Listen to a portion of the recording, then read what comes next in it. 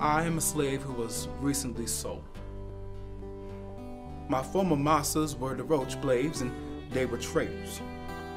Mr. Rocheblave was known throughout the area for his business skills. He was often gone because of business, and during that time, Mrs. Rocheblave took care of the household and directed myself and the other slaves.